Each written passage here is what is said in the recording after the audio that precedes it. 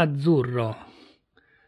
Non c'è bisogno di essere particolarmente belli, ricchi o sbruffoni per far innamorare una donna. L'importante è trovare quella giusta, una che sappia ancora credere alle fiabe e riuscire a raccontarle la più fantasiosa delle storie. Occorre voce ferma, profonda, mai esitante, e uno sguardo deciso, che promette e ovviamente non mantiene. Non mantiene mai. Funzionerà. L'importante è la promessa, rivolta a una principessa triste, meglio se depressa o aspirante suicida, funzionerà. E come? Basta raccontare la vostra migliore bugia a una di quelle donne ancora disposte a credere in quell'amore stupido, perfetto ma autodistruttivo. Il mondo ne è pieno, donne che hanno fede nelle fiabe e che aspettano il principe azzurro. Ho imparato ogni meccanismo recondito, so fare bene il loro gioco, per poter poi ottenere ciò che voglio io. Per loro l'amore è complesso, spigoloso, drammatico. Per me è tutt'altra cosa. Solo una questione alfabetica, questione di doppia S, soldi e sesso. Una principessa triste anni fa sono persino arrivato a sposarla. Ho sempre avuto un'anima nera, ma lei, la vedova bianca, immacolata. Grazie a lei e al suo denaro, alle sue case in città, alle sue tenute in campagna, ho fatto la bella vita per un po'. Giocavo a fare l'artista maledetto, senza avere alcuna dote o inclinazione. Anche sull'aspetto moody calcavo parecchio la mano. Lasciavo crescere capelli e barba, fumavo sigari costosissimi, importati da luoghi paradisiaci, che pagava mia moglie, come tutto il resto, d'altro canto. Foglie di tabacco che immaginavo arrotolate da manine scure e bellissime, mani da bambina dai polsi sottili, ma ancora con quelle dolcissime fossette sul dorso, appena sotto le dita. Le mie bambine, però, sono le più belle e brave tra tutte. Loro sanno essere gatte e pantere, diavolo e acqua santa, ma soprattutto maschi e femmine. Mi guardo attorno, le vedo giocare in piscina, rivali e complici. Rivali nel cercare il mio sguardo, la mia approvazione, complici nel loro sogno comune di diventare simili a me. Siamo nel giardino del residence, in una giornata estiva di sole sotto il cielo blu. Prima di immergersi, seppure scalpitando, hanno atteso le canoniche e discutibili due ore dopo aver finito di mangiare il polpettone di tacchino e le patate arrosto con rosmarino e salvia. Erika e Viola, due nomi delicati, indeclinabili al maschile. Sapevamo che malgrado ogni sforzo e desiderio sarebbero state femmine. Nomi di fiori per erbe ribelli. Non le ho mai indotte ad assumere atteggiamenti maschili, né ho mai lasciato trapelare il mio desiderio di un erede. Nonostante questo, pare che sappiano essere sia maschi che femmine. Lo ammetto, adoro prestarmi a quel gioco della loro innata versatilità. Osservo, ma non sforzo. A volte però sorrido, e quei miei larghi sorrisi che sorpassano le labbra arrivando sino agli occhi potrebbero sembrare loro un incoraggiamento, una felice celebrazione. Guardo Viola, è la più piccola, e anche oggi ha vinto lei l'eterna battaglia per il costumino da maschietto. A Caparbia vince quasi sempre. Invece di prendere un costume da bambino e uno da bambina, avrei potuto comprare due paia di boxer uguali. Avrei risolto ogni controversia. Ma adoro vederle accappigliarsi per sembrare meno femmine, per barattare il rosa con l'azzurro. Ricordo un Natale in cui avevo regalato alle mie piccole, con grande disappunto della principessa madre, che per l'occasione era diventata ancora più triste, un'intera ferrovia in miniatura, con gallerie, stazioni, cabine di segnalazione e scambi. Un gioco da maschi. Il salone, discretamente maestoso, era attraversato da una fitta rete di trenini elettrici. Viola, facendo rabbrividire la madre, aveva rivolto a me tutto l'azzurro splendente che ha dietro le ciglia. Papà, quando diventerò maschio, ne guiderò uno vero il treno dei desideri. Anch'io diventerò maschio e prima di te era intervenuta Erika, accigliata. La principessa, più che triste, incazzata, aveva abbandonato di fretta la stanza, lasciando che il risentimento nei miei riguardi si annidasse ovunque in quel suo corpo nervoso. E noi eravamo rimasti soli a giocare, tra noi maschi. Ora è Viola a indossare il costume blu elettrico a pantaloncino, ha le chiappe magre le gambe lunghe, la pancia un po' tonda, morbida e deliziose, rose, ampie areole. Lunghi capelli castani le accarezzano le spalle. Perché anche gli uomini possono avere i capelli lunghi, vero papà? Le mie bambine stanno già parlando di cosa vorrebbero per cena. Dici che papà ci fa le lasagne? Io non sono poi così bravo a cucinare e non ne faccio mistero. Mando rapido un sms. Alzo nuovamente lo sguardo. Lo lascio scivolare sulle spalle dorate della donna stesa sullo sdraio dall'altro lato della piscina. Ha il cellulare in mano. Docile, si lascia guardare, tende i muscoli del collo gettando la testa all'indietro, schiude leggermente le labbra, contrae gli addominali. Le piaccio, lo so, lo vedo. Credo proprio che una donna così abbia bisogno di un uomo solido quale io so fingere di essere. Ne ha bisogno per compensare quella sua delicata evanescenza, per poter macchiare di lussuria sbavata quel suo presunto candore. All'idea che il corpo di quella donna possa aderire il mio, il sangue si annida nel basso ventre. Voglio toccarla. Penso però alla mia dispensa.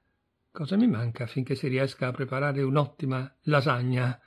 Credo di avere tutto il necessario. Mi ritrovo lo sguardo di Erika piantato in faccia mi fissa con certi occhiacci cattivi e indagatori. È gelosa, lo so, lo è sempre stata. Si rammarica di non avere lo stesso azzurro brillante che colora le iridi mie e di viola. Lo desidera anche lei, forse più del costumino da maschio, più dei trenini di quel Natale lontano. Vorrebbe somigliarmi almeno un po', per sentirsi più mia. Erika invece somiglia alla madre, graziosetta, ma bella è un'altra cosa. Viola è bella, la donna dall'altro lato della piscina è bella. Erika è graziosa e forse solo perché è ancora piccola. Ha gli occhi incassati e il resto del volto leggermente arretrato rispetto alla fronte. Una scimmietta. È a due passi da me, ma deve essere altrove. Lontana, presente solo nel rogo della sua gelosia. Credo non le sia sfuggito il mio interesse per la sconosciuta. Non me lo perdonerà. Vorrei che imparasse a essere più lieve, a pensare meno, a sentire meno dolore. Raggiungo le bambine nella piscina dalle piastrelle azzurro chiaro. Viola si fionda tra le mie braccia. Erika resta in disparte, arrabbiata e dolente. La prendo per una mano, la tiro verso di me tra gli schizzi, cerco di farla ridere. Ormai è troppo grande perché riesca a tenerla nel solco tra le scapole, con le braccia intorno al mio collo. Quello è diventato il posto di Viola la donna dalla pelle ambrata, che indossa regale un malizioso costume celeste, ci osserva.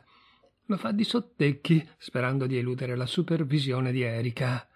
La guardo anche io, non riesco a evitarlo.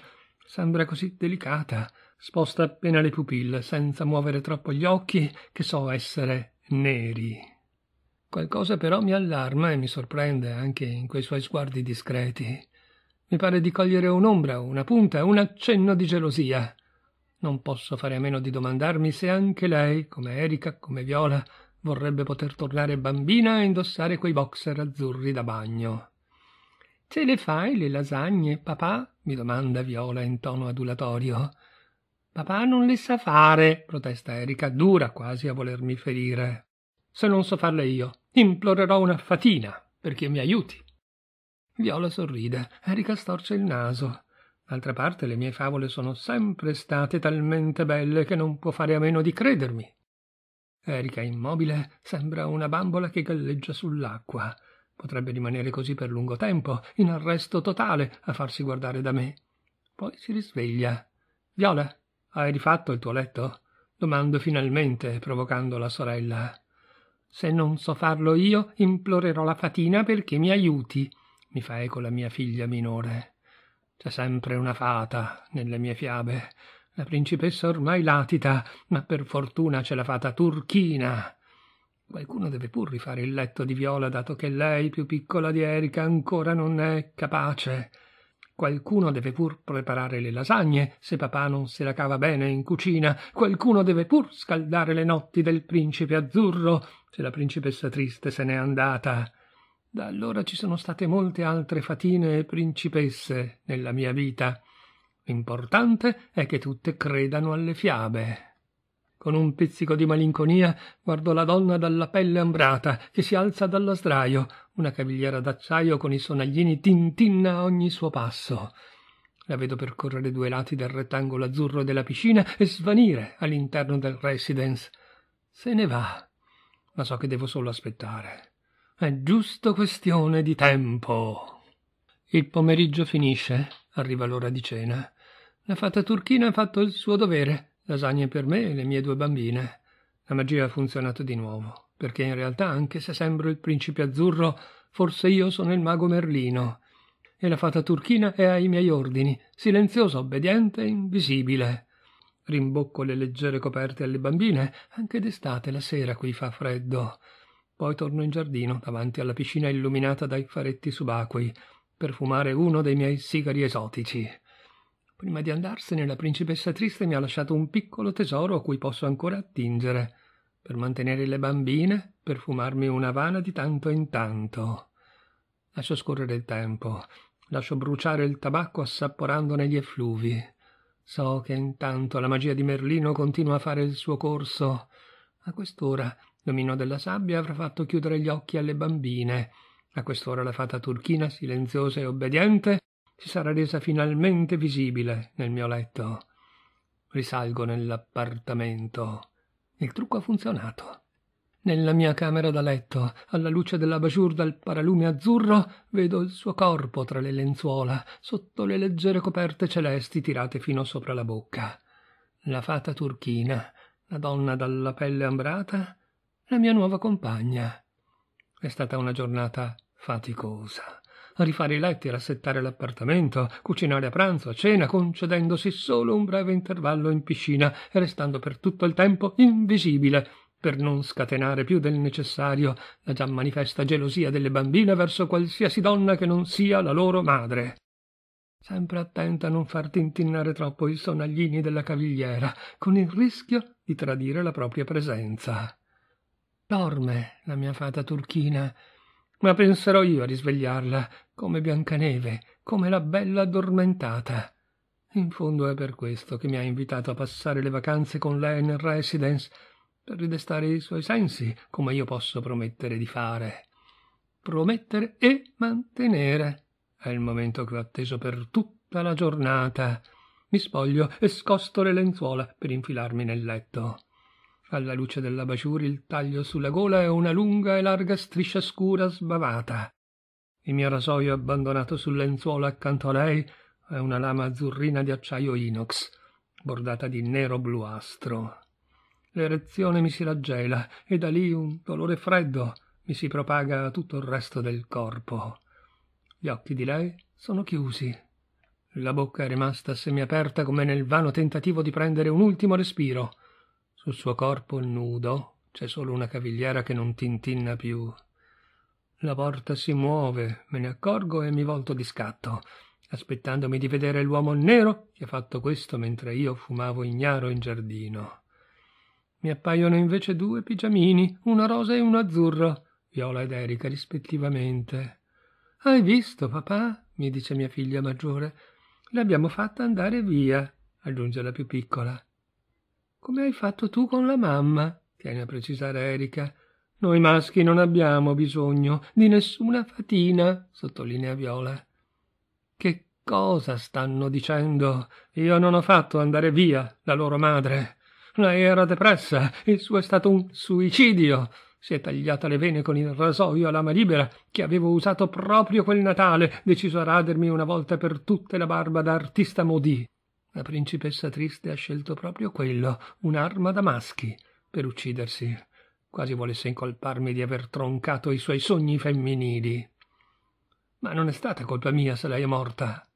Né è stata colpa mia se dalla porta semiaperta le bambine hanno visto il braccio che pendeva fuori dalla vasca nel bagno dalle piastrelle azzurre, con una striscia di sangue che sgorgava dal lungo taglio colava fino alle dita per poi gocciolare sul pavimento, formando una pozza con il rasoio al centro. Come non è colpa mia se adesso è morta la fata turchina dalla cavigliera tintinnante. Mi volto verso di lei. Io proprio non c'entro.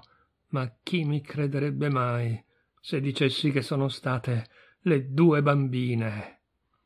Le guardo e le vedo sorridere. Non più rivali, solo complici.